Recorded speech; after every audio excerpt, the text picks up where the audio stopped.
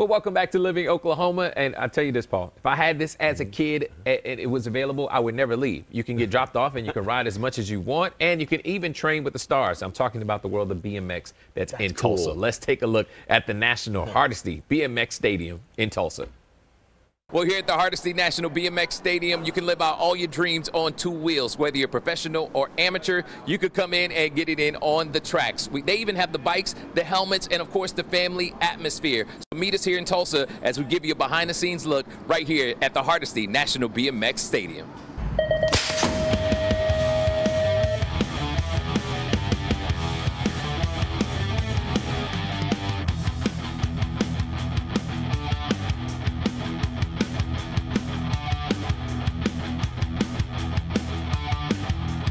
This is the USA BMX National Headquarters, home of the Hall of Fame and Museum and the Hardesty National BMX Stadium.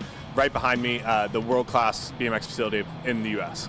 You can be brand new to a bike and come here, but then you also have the Olympians that come here and train. So it's really all levels, all ages. You can try out BMX anytime you want. Speaking of USA and the Olympics, you got professionals as well as Olympians who have trained here.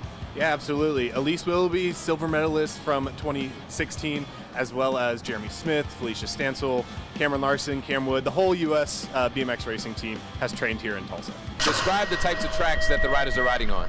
Yeah, so here in Tulsa is a supercross track. It's big hill, small hill, and just every jump, every obstacle is going to be beefed up just that little extra.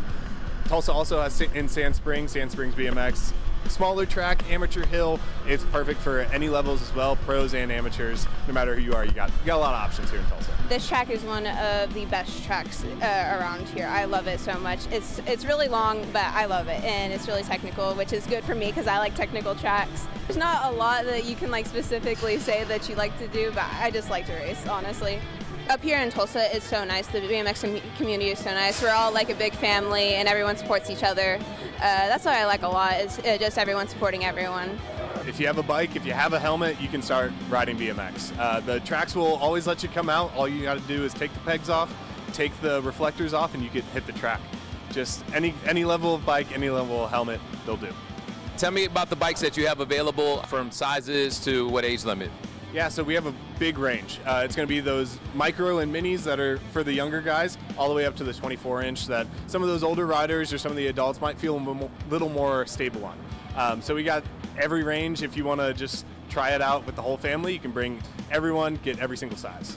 So after a couple of rounds on the track, if you worked up an appetite, no need to leave because they've got you covered on the snacks. We got a one-stop shop here. We have the concession stand for food when races are going on.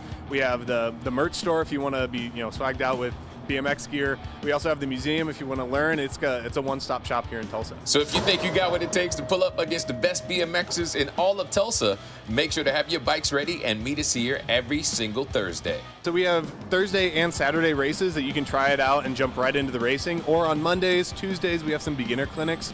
You can get a loaner bike, loaner helmet, and just try out BMX. Um, we have some awesome coaches here in Tulsa, so they'll, they'll help you get started and get you around the track. So if you're ready to ride side by side with the pros, or if you want to go at your own pace, grab your family, your friends, and your kids and meet us at the Hardesty National BMX Stadium. For more information and for scheduling, make sure to log on to usabmx.com.